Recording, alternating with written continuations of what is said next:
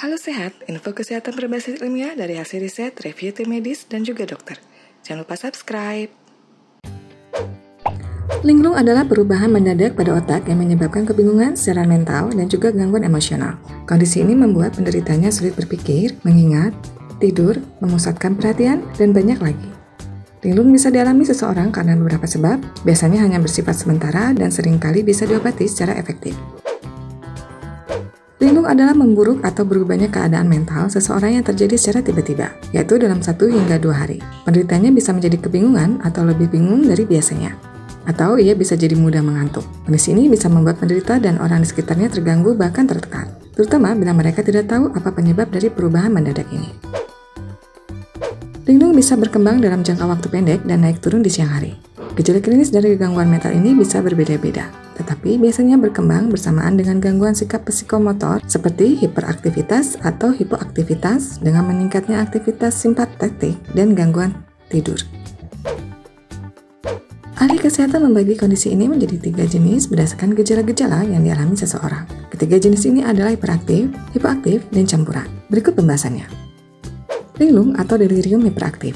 Orang dengan jenis linglung ini biasanya tanpa gelisah, kelihatan tidak tenang, misalnya sering berjalan bolak-balik, menolak dilayani atau merespon bantuan dengan cara agresif, kelihatan waspada berlebih. Penderita delirium tipe ini bisa dengan mudah mengalami tekanan karena tidak mengerti mereka ada di mana atau karena kehilangan jejak waktu. Mereka juga mungkin berhalusinasi bahwa orang-orang di sekitar mereka sedang berusaha menyakiti. 2. Linglung atau delirium hipoaktif. Orang dengan jenis linglung ini biasanya menarik diri, menyendiri, dan merasa kelelahan, mengantuk, tidak bisa fokus saat mereka sedang terjaga. Linglung jenis ini sudah dikenali karena sangat tenang. Penderitanya mungkin juga akan makan lebih sedikit dari biasanya atau jadi lebih jarang beraktivitas. Mereka juga biasanya lebih banyak menghabiskan waktu di tempat tidur. 3. Linglung atau delirium campuran. Orang dengan gangguan jenis ini kadang-kadang menunjukkan gejala hiperaktivitas dan kemudian menjadi hipoaktif. Gejala-gejalanya akan berganti-ganti dari satu hari ke hari berikutnya atau bahkan dalam satu hari yang sama. Penyebab linglung yang pasti masih belum sepenuhnya dipahami. Namun penyebab berikut ini bisa jadi pemicu seseorang mengalami linglung. 1. Gangguan neurotransmisi. Berlebihnya dopamin bisa menyebabkan delirium hiperaktif yang berhubungan dengan meningkatnya acetylcholine, jalur dopamine negeri, dan choline negeri, atau tumpang tindih di otak. Hal ini menjelaskan mengapa reseptor dopamin mempengaruhi kadar acetylcholine dan menjelaskan terjadinya kondisi linglung termasuk dalam bentuk hiperaktif dan hipoaktif. 2. Stres kronis dan respon terhadap stres akut. Stres berkepanjangan akan mengaktifkan sistem saraf simpatetis dan aksis, kelenjar hipotalamus, hipofisis, suprarenal yang akan meningkatkan kadar sitokin dan menyebabkan hiperkortisolisme kronis yang mengakibatkan berubahnya fungsi hipokampus. 3. Cedera saraf Linglung yang berhubungan dengan cedera saraf langsung bisa disebabkan oleh berbagai gangguan metabolis atau iskemik terhadap otak. Hipoksemia, hipoglisemia, dan kekacauan metabolisme lainnya bisa menyebabkan menurunnya energi yang kemudian akan mengganggu sintesis dan pelepasan neurotransmitter, serta juga gangguan terhadap impuls saraf di seluruh jaringan yang berhubungan dengan perhatian dan kognisi.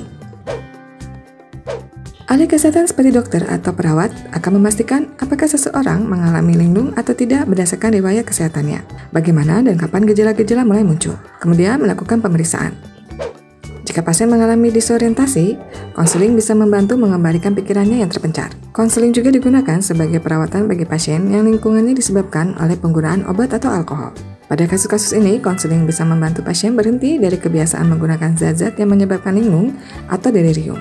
Pada semua kasus linglung, konseling ditujukan untuk membantu pasien merasa nyaman dan menyediakan ruang yang aman bagi mereka untuk mendiskusikan pikiran dan perasaan mereka. Demikian pembahasan mengenai seseorang yang mengalami linglung beserta gejala dan penyebabnya. Semoga informasi ini bermanfaat dan jangan lupa tulis komentar Anda di bawah. Info yang kami berikan telah melalui validitas informasi kesehatan yang aktual dengan pendekatan ilmiah. Direview tenaga ahli dan dokter. Jangan sampai Anda melewatkan info kesehatan yang krusial dan mungkin dapat menyelamatkan keluarga dan teman kita. Jangan lupa subscribe dan nyalakan lonceng notifikasi agar tidak ketinggalan info dari Halo Sehat.